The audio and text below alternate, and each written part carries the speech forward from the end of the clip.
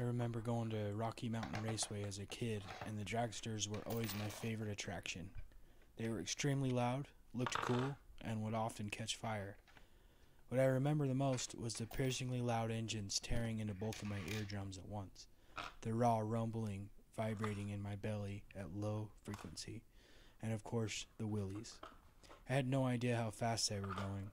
Sometimes they would crash. Other times the countdown timer would start. Three, two, one. And, well, the dragster didn't go anywhere. Better tune up before you try to hit 300 miles per hour in three seconds flat.